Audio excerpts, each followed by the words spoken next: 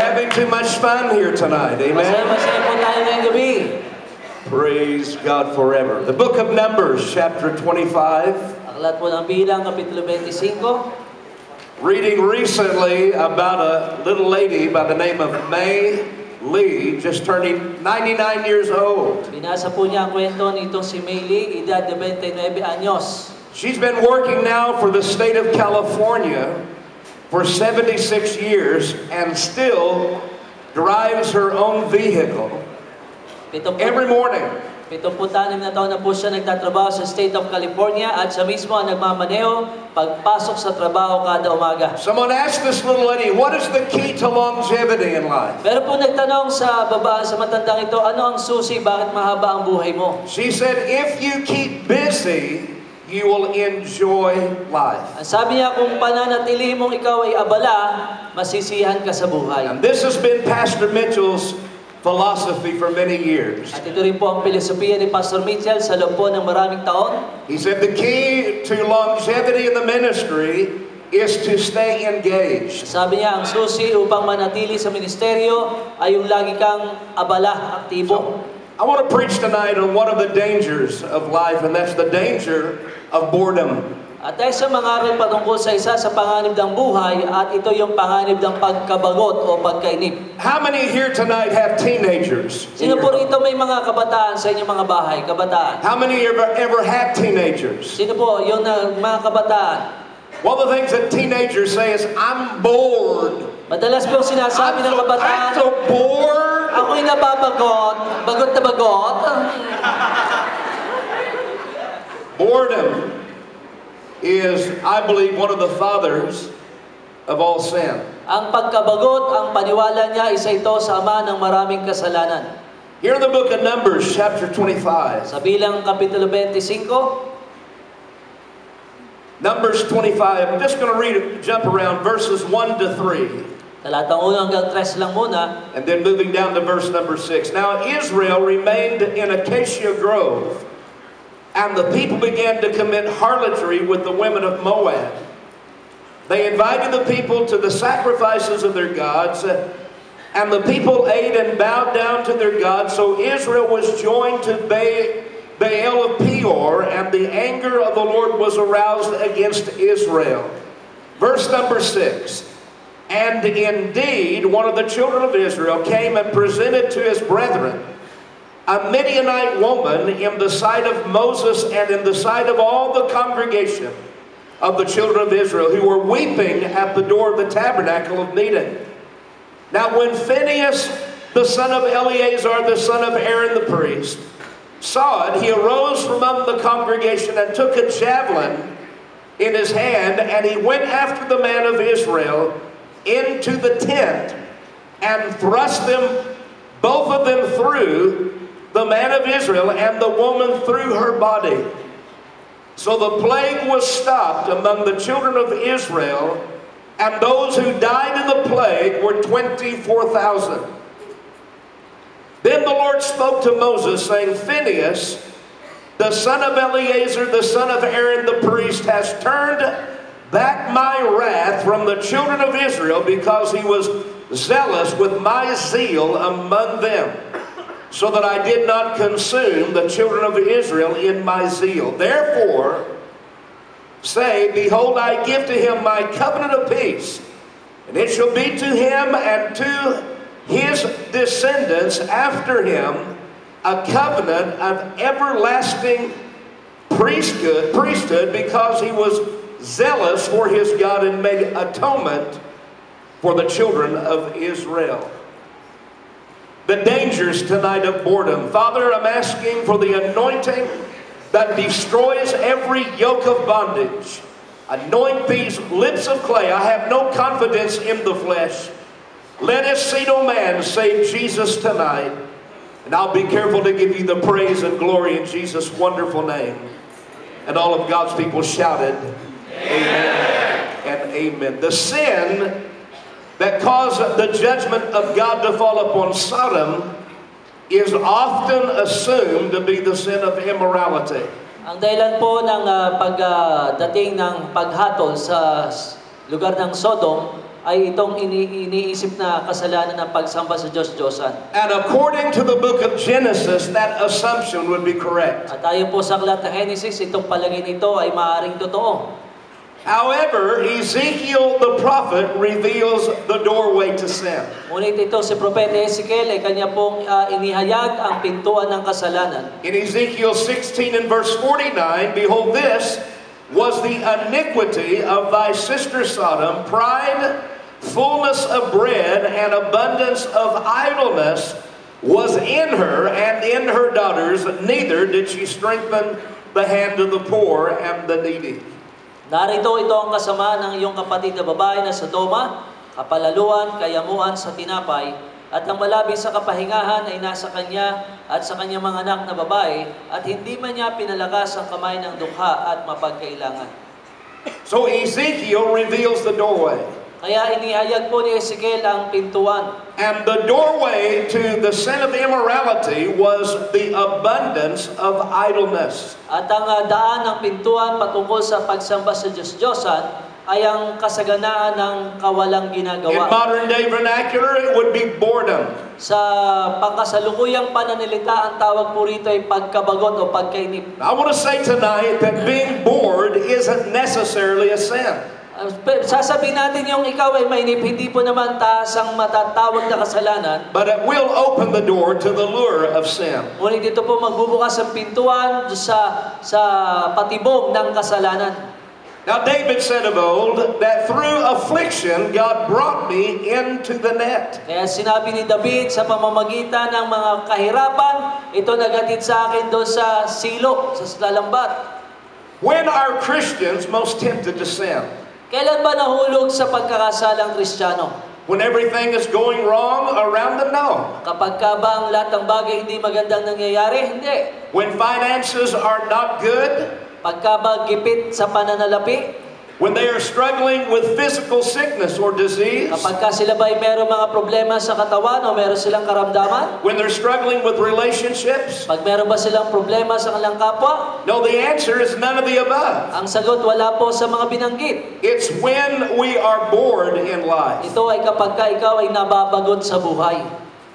We become bored in life with idleness. Tayo po ay nababagot sa buhay kapag ka wala tayong ginagawa. Boredom tonight has been defined the state of being weary and restless through the lack of interest. Ang pagkabagot, ang pagpapaliwanag, ito po yung kalagayan na ikaw ay ah, hindi mapakali at ikaw ay nangihina. How many have ever preached on a Sunday morning service and the entire church looked bored? Sino po nakaranasan mo, bang nangaral linggo na umaga, yung lahat ng mga mananampalataya, bagot na bagot. You're spitting six rows when you preach. Dumudura ka na hanggang anim na upuan sa lakas ng iyong pangangaral. You're high jumping the altar. Lumulundag ka pa. And the more anointing I feel, the more I sweat through my shoes. At lalong nadadama mo yung pagpahit, pinagpapawisan ka, abot hanggang sa iyong sapatos. And you look over the audience and it's just one collective yawn. At ah, habang tinitingnan mo ang iyong tagapakinig, lahat nakahikab. This is a audio visual generation. Itong panahong ito ay mahilig sa nakikita at naririnig. Today you have to have a trained dog act, movies about God. Ngayon, You have to bring in entertainment. Ngayon, kinakailangan meron mga asong turuan, meron pa silang papanoorin, at meron pa silang mga ah, palabas na makikita.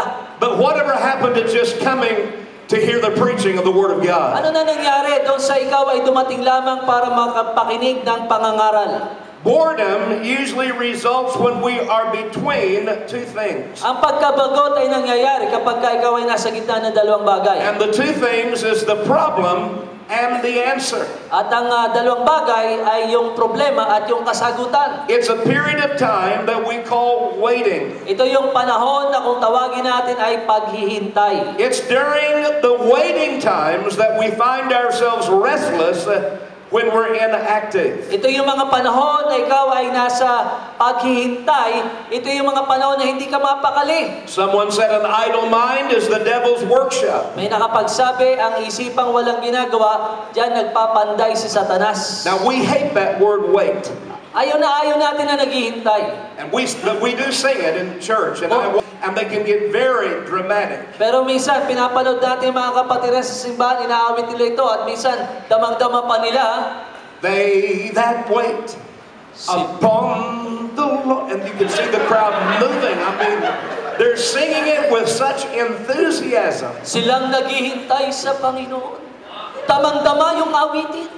But I pastor these people and they don't wait for anything. Pero pinagpakilala niya itong mga taong ito at hindi naman handa maghintay sa anuman. I want patience and I want it right now. Ang gusto ko, pagtitiis, gusto ko, ngayon na. This is the microwave generation. Ito yung panahon, o yung microwave. Instant tea, instant rice. Instant na kape, instant na kanin. But how many know revival's not always instant? Ngunit sino nakakalam, hindi po palagi instant ang pagkilos ng Diyos. The Bible said through faith and patience we inherit the promises of God. Sabi ng Biblia, sa pamamagitan ng panalangin at may pagtsatsaga, ay mamanahin natin ang pangako ng Diyos. And I've come to declare tonight that we have seven, 7,000 promises in this book. At siya'y naparito para ipayag sa atin na meron tayong pitong libong mga pangako na nakasulat sa aklat na ito. And if God spoke it, He will bring it to pass. At pag sinabi ng Diyos, kanyang pangyayarihin. Let every man and let every devil be a liar, Bayain lahat ng tao, lahat ng demonyo'y sinungaling, but let God's word be true. ngunit ang salita ng Diyos ay tunay at totoo. God can be trusted tonight. Ang Diyos pwede mong pagkatiwalaan. So let's talk about boredom and seduction.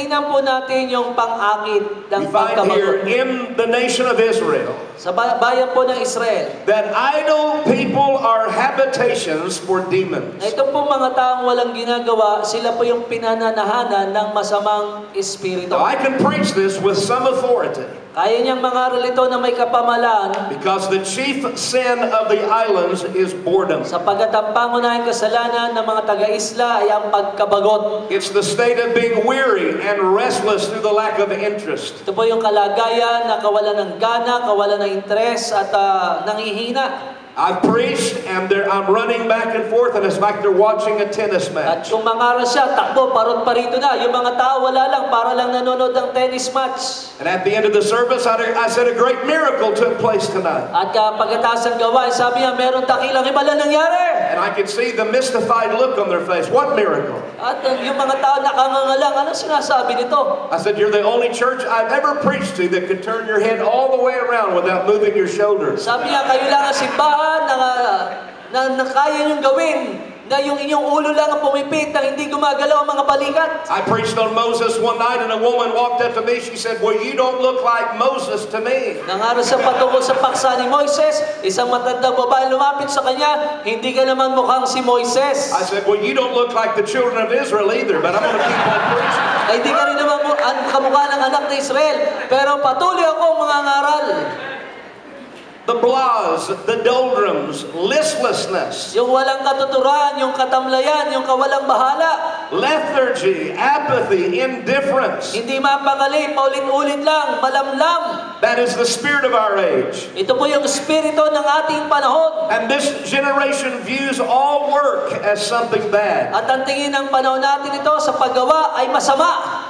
Adam was industrious before the curse. Samantalang si Adan ay masipag bago po dumating yung sumpa. The Bible said that Adam tended the garden. He tended and he kept the garden. Sabi ng Biblia, inalagaan ni Adan ang hardin, kanya itong pinangalagaan. It means that he cultivated and guarded it. Ibig sabihin, kanya itong pinagyaman at kanya itong binantayan. But today we have a bad attitude toward work Pero ngayon, iba ang pagtingin sa paggawa. because we want instant gratification. Sapagkat ang gusto natin ay yung madali ang kasiyahan. The Apostle Paul said, if you don't work, then you don't eat. Sabi ni Pablo, kung hindi ka magtatrabaho, hindi ka dapat kumakain. Paul is dealing with an island attitude. Kaya nga, kinakaharap dito ni Pablo ang kaisipan ng mga taga-isla. He writes in his letter to Titus in Titus chapter 1 and verse number 12. Sumulat siya kay uh, Tito sa Tito 1.12. One of them, a prophet of their own, said Cretans are always liars, evil beasts, and lazy gluttons. Sinabi ng isa sa kanila rin na isang propetang sarili nila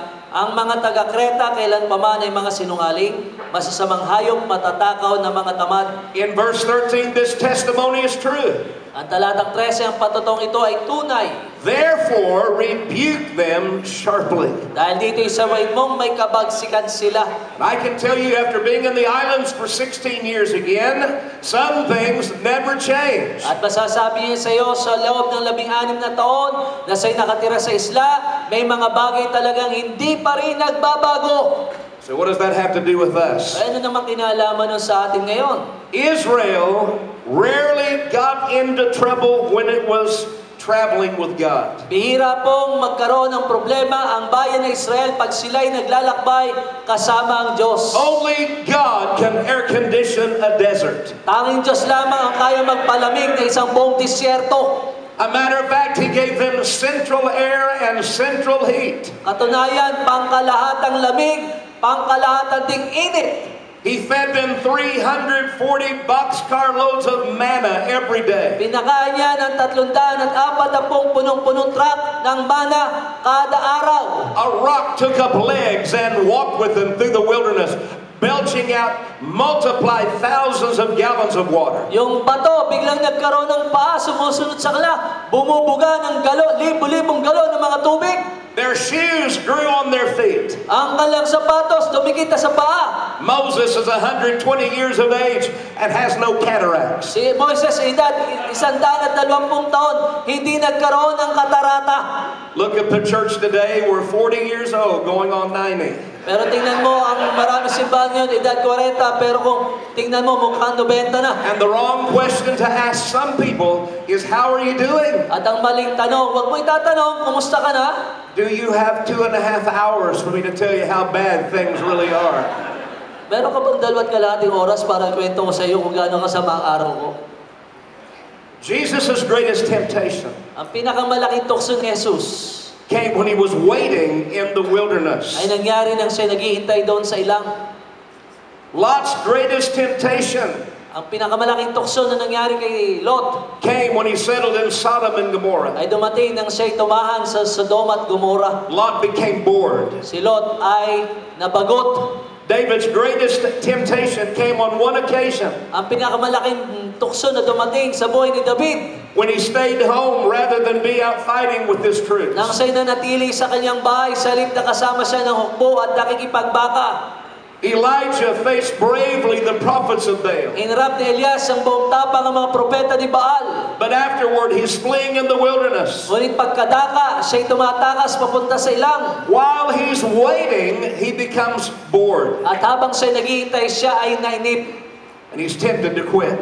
At ah, nagkaroon siya ng pagnanais sa sumuko. Israel, 40 years earlier, had been waiting for Moses on Mount Sinai. Bago dumating apat na pung taon, ang bayan ng Israel ay naghihintay sa bundok ng Sinai. It committed sin. They got bored waiting for Moses to return. Ito'y nagkasala habang hinihintay nila si Moises na magbalik. And so the Bible gives us a case history. Kaya ang Biblia nagbigay sa atin ng mga sunod-sunod na kaso ng kasaysayan. 1 Samuel 13, Saul got bored waiting for Samuel. Unang Samuel, si Saul ay ah, na, nainip sa paghintay kay Samuel. So he offered up sacrifices. Listen, Kaya sa- Saul is a king, he's not a priest. Kaya siya na lang gumawa ng paghandog. Tandaan natin, si Saul ay hari, hindi naman siya saserdote. Look at our text tonight. Tingnan po natin yung teksto natin ngayon. This story follows on the heels of an incident where King Balak hired Balaam to curse Israel. Ito pong kwentong ito'y kasunod lamang ng itong si Haring Ba- Balak ay ah, gusto niyang sumpayin ang bayan ng Israel. And the attempt failed. At ang ah, kanyang pagtatangka ay nabigo. And I've come to declare to you tonight that no witchcraft nor enchantment or sorcery can be used against Israel. At siya'y naparito upang ipahayag sa atin na namang panggagaway, namang pangkukulam ay mananaig laban sa Israel. Although Balaam failed to curse Israel, Bagamat nabigo si Balaam na sumpayin ng Israel, he shared how Israel could still be hurt. kung paano masaktan itong Israel. Let the women dance.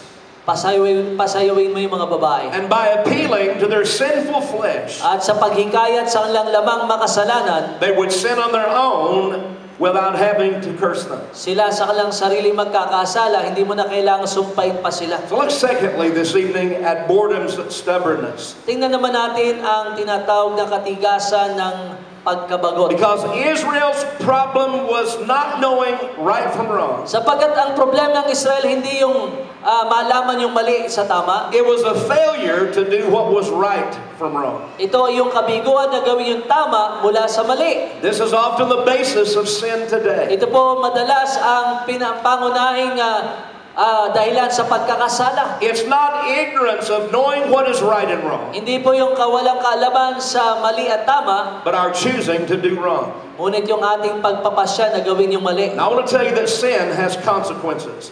Nais kong sabihin sa iyo ang kasalanan na meron pong kabayaran. We later learned that 24,000 men died in this plague. At napag-alaman natin na 24,000 mga lalaki sa salot na ito. Now, that beats the death toll of Korah's rebellion. Dinagpan po nito yung bilang na namatay sa pagre-rebelde ni Kore. In Korah's rebellion, 14,700 died. Sapagkat sa pagre-rebelde ni Kore, labing apat na at pitong daan ang nagkandamatay. The reason why this happened is because Moses did not judge the leaders for their failure to lead. Ang dahilan sapagkat hindi po hinatulan ni Moises ang mga tagapanguna sa kabiguan nilang manguna. Can I tell you that sin is a killer? Pwede bang sabihin ko sa iyo, ang kasalanan ay pumapatay. And sin is a very serious proposition. At ang kasalanan ay isang mabigat na bagay. You, say tonight, how serious is sin? O gaano ba talaga kabigat ang kasalanan? God's only begotten Son had to die for our sins. Isipin mo, ang bugtong na anak ng Diyos ay kinakailangang mamatay para sa ating kasalanan. And I've got the remedy tonight, and that remedy is the precious blood of Jesus At taglay Christ. natin ang gamot, walang iba kundi ang banal na dugo ng ating Panginoon. This last service in Guam, we sang power, wonder working power in the blood of the Lamb. Nitong nakaragawa nila sa Guam, ginamit nila yung ah, there's power, wonder-working power in the blood. Let me believe there's still power in the blood of Sino Jesus. naniniwala meron pa rin po kapangyarihan ng dugo ni Jesus? You look at our text tonight, Kaya tingnan po natin ating teksto ngayong gabi. and the Bible said it gets worse because of a cold-blooded rebellion against God. At ang sabi ng Biblia, lalo po itong lumala sapagat meron mas mabigat na pagsuway sa Diyos. Notice verse number six. And indeed, one of the children of Israel came and presented his brethren, a Midianite woman, in the sight of Moses, and in the sight of all the congregation of the children of Israel, who were weeping at the door of the tabernacle of meeting. At narito, isa sa mga anak ni Israel ay naparoon at nagdala sa kanyang mga kapatid isang babaeng Madyanita sa paningin ni Moises. At sa paningin ng buong kapisanan ng mga anak ni Israel, samantalang sila'y umiiyak sa pintuan ng tabernakulo ng kapisanan. Now, this is a total disregard for God, Ito po isang lantara na pagsuway o pagbabaliwala sa a Diyos. disregard for the Word of God. Pagbabaliwala sa salita ng Diyos. This Jewish man brings back into camp a Midianite woman. Ito pong lalaking Hudyo ay nagdala ng isang madyanitang babae sa kanilang kampamento. He is flaunting his sin. Kanya pong ipinangangalandakan pa ang kanyang kasalanan. Some things never change. Pero kasi mga bagay na hindi talaga People today, they flaunt their sin. Ang mga tao ngayon, kanilang ipinagmamalaki pa ang kanilang kasalanan. They dare God to kill them. Kanilang hinahamon pa ang Diyos sa sila'y patayin. But I want to tell you tonight that God did not get converted between Malachi and Matthew. He's the same yesterday, today, and forever. Pero sinasabi niya sa iyo, ang Diyos ay hindi po nagbabago mula sa Malakias at Mateo. Siyang noon, siya ngayon, at siyang magpakailanman. 24,000 people are killed in this plague. 24,000 mga tao ang nagkandamatay sa salot na to. And while the people were weeping over the deaths of so many, At habang ang mga tao ay nagdurusa at umiyak sa pagkamatay ng napakarami, even in the midst of God's discipline, kahit nasa kalagitnaan ng pagdisiplina ng Diyos, this man mocks God by bringing this woman into the camp. tinuya ng lalaki ito ang Diyos sa pagdadala ng isang madyanitang babae. But she is so cute. Kaya lang siya, siya kasi ay napaka-cute. Pastor, we are in lust. I mean, love. Pastor, kami po ay nagmamahalan. He is such a hunk. Siya po ay matikas. Yeah, and he is a Philistine. Oo nga, ay kaya lang Pilisteo yan. God said, I want God's people to stay away from those Philistine men. At ang sabi ng Diyos, ang gusto ko yung mga kababaihan ay lumayo sa mga lalaking Pilisteo. And immorality comes right into the church today. Pumapasok tuloy ang imoralidad sa maraming simbahan ngayon. And people are afraid to judge it. At ang mga tao umiiwas sa ito'y hatulan. I've seen them waltz right into church, waltz right into the church, Ah, Nakikita niya, pumapasok, nakabrisyete pa, papasok ng simbahan. trying to seduce half the men in my church. At yung ah, mga kababayan, gustong tuksuhin yung mga kalahati ng bilang ng kalalakihan sa loob ng I said, you, you got into those pants in one of two ways. Nakapasok ka dyan sa pantalong yan, isa o dalawang bagay. They are so tight, you must have jumped off a two-story building to get into them. Sobrang higpit yan, siguro lumuntog ka sa dalawang palapag na gusali para makalusot ka lang dyan. Or you painted them on, one or the other. O kaya ipinintura mo lang yan, alin sa dalawa. But you're to wiggle, wiggle right out the store. Pero tapos pakiwal-kiwal ka, papasok sa tindahan, And you're to dress like a real Christian. Tapos magbibis ka dapat ng isang totoong kristyano. Are you with me? Naunawanan po ba natin? They shouldn't be going to the altar with short, short skirts. Hindi po dapat sila tumutugon sa altar na meron pong napakaiksing You know, I'm palda. talking about the one that has the split all the way up the side, Ang tinutukoy natin yung merong hiwa hanggang dito, oh, where you can see you can see all the way to San Jose, California. na tanaw na tanaw mo na yung General Santos. I believe in holiness. Naniniwala tayo sa I believe in sanctification. Naniniwala tayo sa kalinisan. Sinners are going to dress like sinners. Ang mga makasalanan, normal sa kalang magdamit ng ma- hindi maganda. You have to catch the fish before you clean the fish. Kinakailang huli mo muna bago mo malinis. But if you claim to be saved Pero kung sinasabi mo ligtas ka, and filled with the Holy at Ghost, puspos ka ng Espiritu then Santo, God's going to give you some discretion about the way you carry yourself. kung ganon, bibigyan ka ng Diyos ng kayusan kung paano ka manamit at dalhin mo ang iyong sarili. The temptation of gluttony had encouraged the temptation of sexual immorality. Kaya yung pong tukso ng katakawan ang nagbunsod sa tukso ng imoralidad. This man ignored the principle of Scripture. Pinaliwala po ng lalaki ito ang prinsipyo ng kasulatan And the principle of Scripture is be sure that your sins will find you out. at ang prinsipyo ng kasulatan, tiyak ito, aabutin ka ng iyong mga kasalanan. The unchallenged sins by the leaders Kaya yung mga kasalanan na hindi po inampronta ng mga tagapanguna had now shown the level of arrogance to sin by the people. ay nagpakita na ng ah, kapalaluan sa gitna ng mga tao.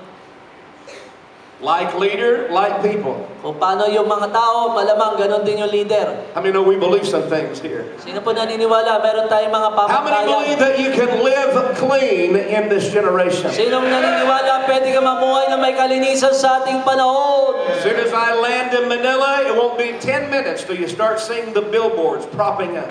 At ah, hindi pa nakata- natatagalan sa pag, ah, paglapag niya dito sa Manila, makikita na niya mga naglalaki ang billboard. Hardly a week goes by that I don't have to deal with the fallout of pornography on the telephone. Walang hindi lalampas ang isang linggo, meron laging mga bagay mga pornografiya sa kanyang telepono. You can read about the sin of Baal Peor, Nakikita mo ang problema, ang kasalanan ni Baal Peor, and you'll find 50 years later, and they're still dealing with the fallout from this sin. at makikita mo pagkalipas sa limampung taon, yung kinahulugan nilang kasalanan, yun pa rin.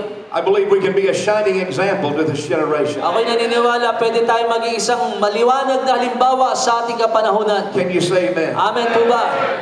I want to look lastly, and some of you are saying, thank God. Tingnan po natin ang katapusan at ang sabi ng iba sa inyo, daghang salamat sa Ginoo.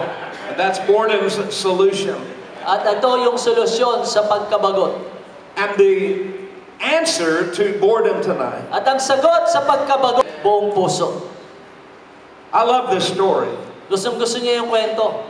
because this is the grandson of Aaron, the high priest. Sapagkat ito po ang apo ni Aaron na saserdote. Phineas is one of my heroes in the Bible. Si Pinees ang isa na itinuturing niyang bayani sa Biblia. Now, I don't know what bad looks like, but I think if you looked up bad in the Webster's dictionary, you would see a picture of Phineas. Hindi niya alam kung ano ba ang larawan ng astig sa Biblia, pero siguro ito yung larawan ni Pinees, astigin. He is so angry, Siya po'y galit na galit.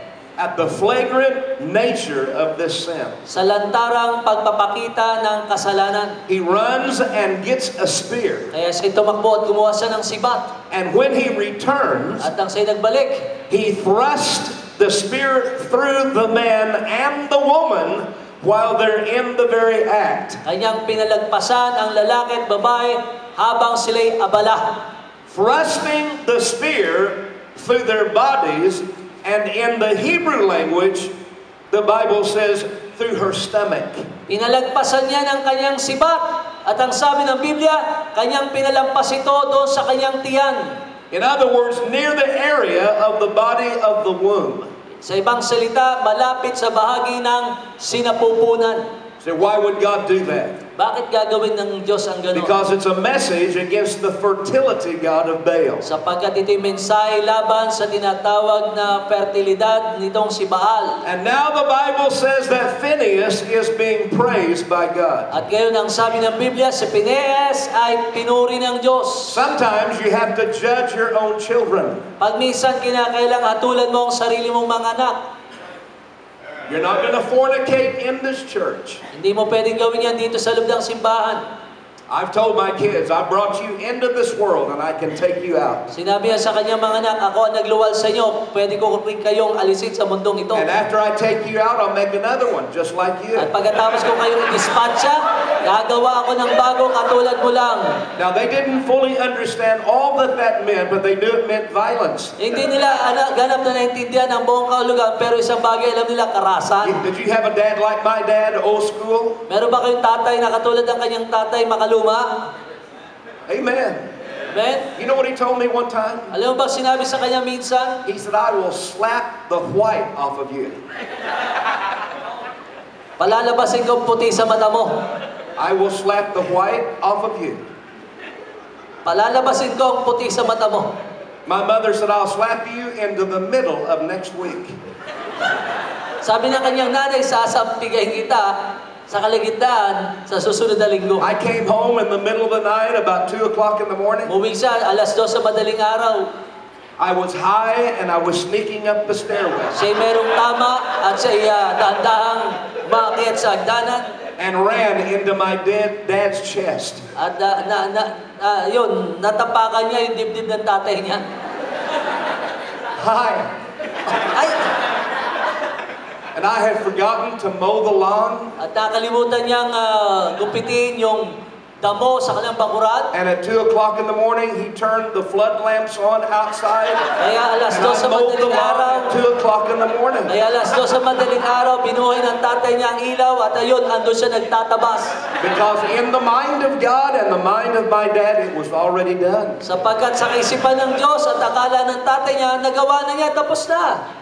Thank God for dad. Salamat sa Diyos sa mga tatay. Oh, how many times he kicked me out of the house. O ilang beses siyang tinadyak ang palabas sa kanyang bahay. And mama is in the front yard ready to, At ang nanay niya, nakabang na doon sa may pintuan para sa isaluin. But at 39 years of age, he got saved. Ngunit sa edad na 39 na naligtas. Same weekend, Noong linggong yun din, my mother got saved. ang nanay naman niyang sumunod. They quit fighting in the house. At uh, nawala niyang pagtatalo sa They bahay. poured all the liquor out of the house. Itinapon na yung mga alak sa bahay. My dad gave two cartons of cigarettes to his brother so he could die of cancer. Binigyan nila ng tatay niya yung dalawang karton ng sigarilyo sa kanyang kapatid para siya matoda sa kanser. That's conversion. Yun ang totoong pagbabago. Let me tell you what the Jesus movement is. Nais kong sabihin sa iyo, ano bang kahulugan ng pagkilos ng Panginoon? I wish I could wrap this thing up, Where I could wrap it. Kung pwede lang sana, i-rap, no?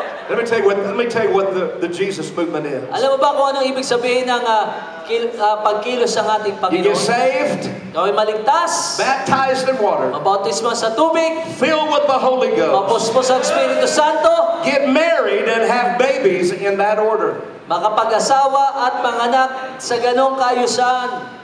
That's the Jesus movement. Yan ang tinatawag na kilusan ng ating And if God did nothing else for me in my life, He did something about my morals. At kung meron mang anumang bagay na ginawa ang Diyos sa kanyang buhay, ito'y may kinalaman sa kanyang moralidad. Oh, but you're so pogy. But you're so handsome. Frank's getting jealous. Si Pastor Frank. Oh, I love Phineas. Gusto-gusto niya si Phineas. Phineas is not even a leader yet. Hindi pa nga tagapanguna si I want you to think about this. Sipin niyo to. He's not a leader yet. Hindi pa siya tagapanguna. He wasn't afraid to take a stand. Pero hindi siya takot manindigan. At this point, he's not a leader. Sa puntong ito, hindi pa siya leader.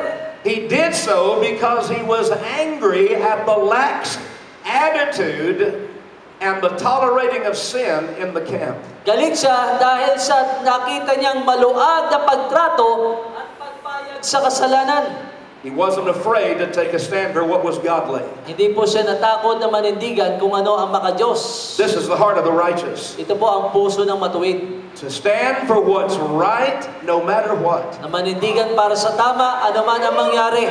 He wasn't a politician. Hindi po siya isang politiko. That's the reason why I love my president. Yan ang gusto ko, yan ang dahilan kung bakit gusto niya ang kanyang Because he is not a politician. Sapagkat hindi siya isang Oh, how refreshing it is Oh, nakakasariwa naman yan. not to have a professional politician. Na hindi ka magkaroon ng isang profesional na politiko. And I tell you, I get sick and tired of political pastors. At alam mo ba, siya'y sawang-sawa na sa mga pastor na politiko. I don't take a vote what I'm going to preach. Hindi ako humingi ng boto kung ano bang aking papangaral. If I would have taken a vote last Sunday morning, it would have been 615 to 1. Kung uh, hingi siya ng boto noong nakaraang linggo, kung ano yung papangaral niya, baka 650 ang kontra, isa lang ang pabor. Aren't you glad Moses didn't take a vote? Hindi ba kayo natutuwa si Moises hindi siya humingi ng It boto? would have been 3 million to 1 and he would still be paddling over tonight in a canoe. Baka kung hahanap siya ng boto, tatlong milyon, laban lang sa isa, pero magpapatuloy pa rin siya sa pagbugsay ng ah, baruto. He said, This is what we're going to do. Follow me. Kaya ang sabi niya, ganitong gagawin natin, sumunod kayo! And the rest of you can stay with the Egyptian. At yung sa inyo, ayan, bahala ka sa buhay niyo, diyan kayo sa mga Egyptiano. Amen. Amen. I'm so glad for salvation tonight. Tayo po'y nagpapasalamat sa kaligtasan ngayong gabi. Righteousness is not just a creed, Ang katwiran, hindi lamang po ito isang ah, panata o it's not just a set of doctrine. Hindi lamang po ito isang ah, hanay ng mga doktrina o aral. It's a, it's a truth to be practiced. Ito ay isang katotohanan na dapat ipamuhay. Now, this one act saved thousands. Ito pong isang pagkilos sa ito ay nagligtas ang libo-libo. He pulls out that javelin and spears them. Kinuha niya yung sibat at kanyang tinuhog sila. And God looks out of heaven and says, At ang Diyos tumingin sa langit at I like that. ayos. That's the God I serve. Yan ang Diyos sa ating pinaglilingkuran. The God of America is a weak, effeminate, Ang Diyos ng mga Amerikano ay mahina at binabae. a waffling God. Isang malambot na Diyos. But the God of the Bible is let your yea be yea and let your nay be nay. Ngunit ang Diyos ng Biblia, ang iyong oo ay maging oo at ang iyong hindi ay maging hindi. The God of the Bible says you're either male or female. Ang Diyos ng Biblia, babae ka, babae ka, yun lang. You see, I was a male trapped inside of a female body. Kaya ako kasi isang lalaki na naipit sa katawan ng isang You didn't know that. For nine months, I was trapped inside of a female body, but I got out. Hindi mo alam yun. Pero sa loob ng siyam na buwan, ako'y nakulong, pero ako'y nakalaya. And the doctor hit me on the backside, and I cried. At pinalo ako ng doktor sa aking pitan at ako'y umiyak. And I saw a bright light. At nakakita ko ng liwanag. And it was a personal experience. At ito isang personal na karanasan.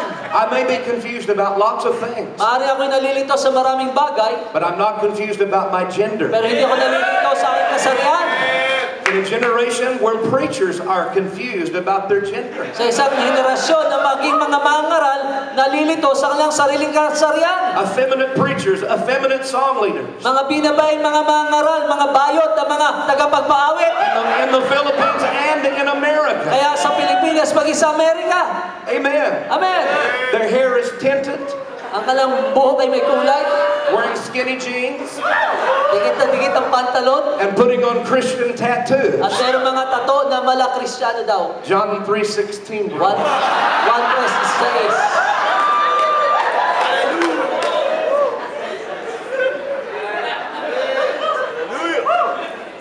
When the marking of the body is a sign of bondage. Ang pagtatato sa katawan ay ng pagkaalipin. Hallelujah. Thank God for salvation. Salamat sa Diyos sa kanyang Thank. God for righteousness. At salamat sa Diyos sa katwiran.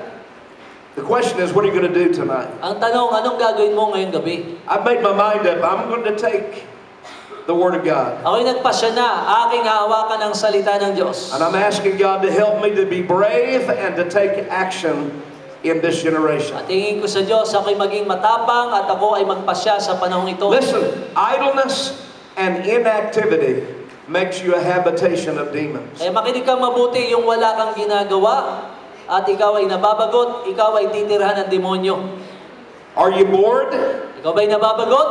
Then you can overcome it by loving God and loving people. Mapagtatagumpayan mo yan sa pamamagitan ng mahalin mo ang tao, mahalin mo ang Diyos. Pastor Mitchell told the church of Guam, Sinabi ni Pastor Mitchell sa simbahan natin sa Guam, the key to my longevity is to stay engaged. Ang dahil ang susi ng aking mahabang buhay ay lagi akong nakikisangkot And all the single people got excited. at lahat ng mga binatang Can I get engaged too? lahat ng mga binata, oh, natuwa. Pwede rin ba ako No, mag-engage? not that kind of Ay, engagement. hindi yan yung tinutukoy ko, hindi yan. That means get active. Ibig sabihin maging aktibo. That means quit setting down on your blessed assurance. Ibig sabihin yan, tigilan mo na yung kaupo. Amen. Amen. Matthew chapter 12, and I close. Mateo Kapitulo 12 sa pagtatapos. Jesus gives us the clearest insight into deliverance. Binigyan tayo ng Panginoon ng napakaliwanag na pananaw sa kung paano Verse 43 When an unclean spirit goes out of a man, he goes through dry places, seeking rest, and finds none. Then he says, I will return to my house from which I came. And when he comes, he, find it, he finds it empty, swept, and put in order. Natapat ang karamalduman ng Espiritu kung sa'y lumabas sa tao ay lumalakad sa mga dakong walang tubig na umahanap ng kapahingahan at hindi makasampung. Kung magkagi sinasabi niya, babalik ako sa aking bahay na nilabasan ko. Pagdating niya ay nasa sumpungan niyang walang laman, walis na at nagagayakan. Let me give it to you this way. When they come back, they find the mind, the man is idle and empty. Tingnan po natin, nang sila'y bumalik, natagpuan nila ang lalaki ay walang ginagawa at walang laman. Perry Stone wrote a book called Feeding Demons. Si Perez Stone ay sumulat ay isang aklat, pagpapakain sa mga demonyo. The power of God brings deliverance, but it takes discipline to stay delivered. Ang kapangyarihan ng Diyos ay nagbibigay ng kalayaan, ngunit kailangan ng disiplina para manatiling malaya. See, this is the reason why homeless people are crazy. Ito ang dahilan kung bakit yung mga taong grasa ay nasisiraan ng bait. It's the reason why they're strange and weird. Ito ang dahilan kung bakit sila'y kakaiba, sila'y kakatwa. Because you have to have purpose. Sapagkat sa buhay, kailangan meron kang layunin. Without a vision, the people cast off restraint. Kung walang pangiti ng mga tao, walang pagpipigil sa kanilang mga sarili. Mrs. Lee, Si Mrs. Lee, my new hero, ang kanyang bagong bayani, 99 years old, 99 anyos, she's holding up her driver's license. hawak-hawak pa rin niya ang kanyang lisensya sa pagmamaneho. By the way, she said, my driver's license is good until I'm 100. Siya nga pala, ang aking lisensya ito ay mab- may visa pa hanggang edad sandaan. Now, I'm not sure how safe that would be. At hindi niya sigurado kung magligtas I pa ito want someone to, to tell me when Mrs. Lee is coming down the road and I'm going to go to the other road. Gusto niyang ipaalam sa kanya kung saan dadaan ito si Mrs. Lee at siya lilipat ng linya. But the point is, he's still engaged. Ngunit ang punto, ikaw ba ay kabahagi pa rin?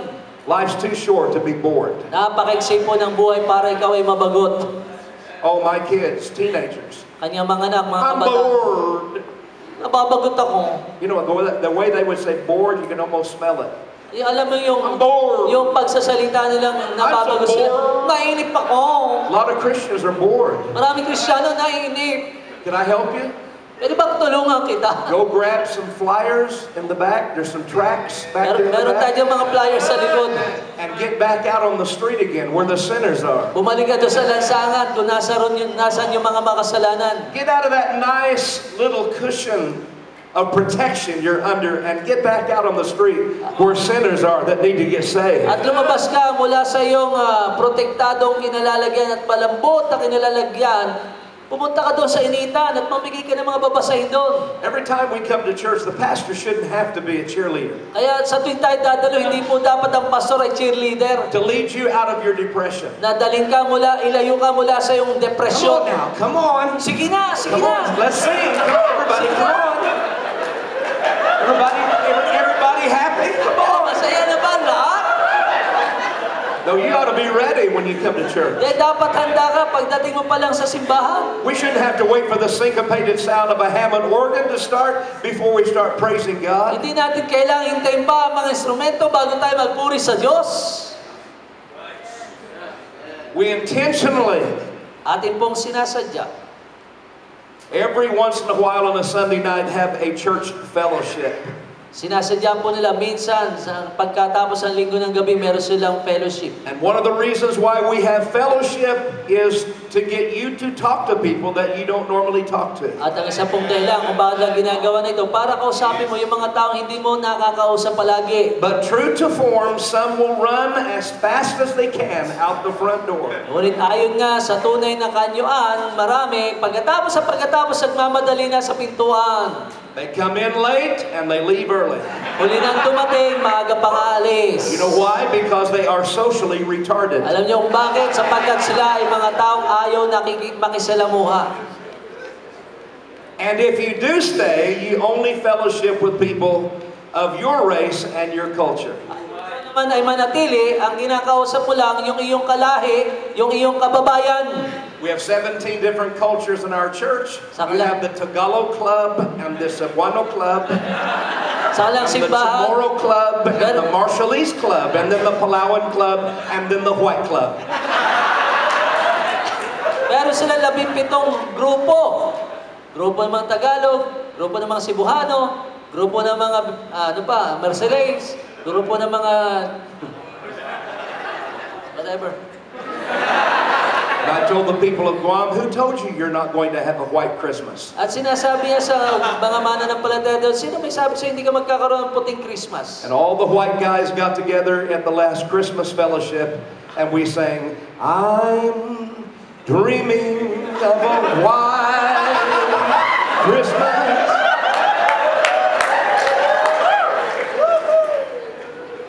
You that God is colorblind. Alam mo ba, hindi po nagtatangi ng kulay ang Diyos. Sometimes we need to learn to fellowship with people who are not just like us. Pag minsan kailangan nating makifellowship sa mga taong hindi natin kauri. I've always been the minority in every church I've ever pastored. Lagi po siya doon sa mga kakaunti lamang kadalasan sa kanyang mga simbahang pinagpapastoran. I was reading about a man tragically that was killed, and I close. Meron po siyang binasa sa isang, ah, isang kwento, isang lalaki ang ah, napatay. Sam's Club in California. Sam's Club sa California. Very sad. He was mentally challenged and he was killed. Naka sa pag-iisip at siya po'y pinatay. And the newspaper said the reason why he was killed is because he was nonverbal. At ayon po sa balita, ang dahilan kung bakit siya pinatay, dahil hindi po siya nakikipag-usap. In other words, to be nonverbal is a malady of the retarded. Ibig sabihin, yung hindi ka nakikipag-usap, yan po'y sakit na may problema sa pag-iisip. Handicapped people. Yung mga may kapansanan ba? Island churches. Mga simbahan sa mga isla. You walk through the door of the church and everyone turns to look. Pagpasok mo lang sa simbahan, yung mga lahat ng tao nakatingin. And they'll stare at you from a distance. At titingnan ka lang sa malayo, They're just looking at you. nakatingin lang. Nonverbal. Tawag doon, hindi nakikipag-usap. No one's talking. Wala nagsasalita. Just staring. Nakatingin lang. Oh, look how big and white he is. Oh, tingnan mo kung gaano kalaki, ang taba, oh.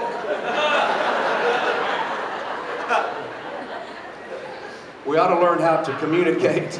Pag-aralan po natin makipag-ugnayan.